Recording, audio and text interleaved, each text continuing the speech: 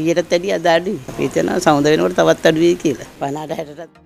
බිත්තර මිල යළිත් පහළට ජනපති අනුරගේ ආණ්ඩුව වට්ටන්න බිත්තර මිල වැඩිකර සාටක ගති වෙළඳුන්ට වෙන්න යන දේ මෙන්න.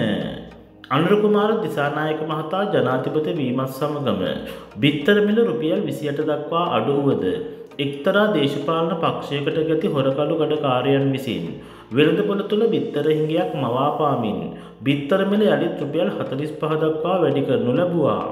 ඒ අනුව එම කළුගඩකාරයන් හට නීතිය ක්‍රියාත්මක වීමත් සමගම යළිත් බිත්තර වෙළඳපොළට හිඟභාවයකින් තොරව පැමිණීමත් සමගම වෙළඳපොළ තුළ බිත්තරවල තොගමිල රුපියල් විසියට දක්වා සිල්ලන මිල රුපියල් තිහත් තිස් දෙගත් අතර මිලකටද පැමිණ තිබෙනවා. ඒ අනුව සාටකගති හොර වෙළඳුන් විසින් ආණ්ඩුව අපහසුතාවයට පත්කිරීමට ගත් ක්‍රියාමාර්ග ව්‍යාර්ථ වී තිබෙනවා.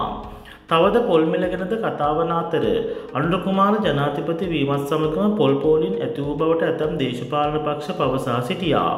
නමුත් එයට හේතුව පොල් නිෂ්පාදනය අඩුවීමයි. මෙම කාලය තුළ පොල් නිෂ්පාදනය අඩුවන බවයි වාර්තා වන්නේ.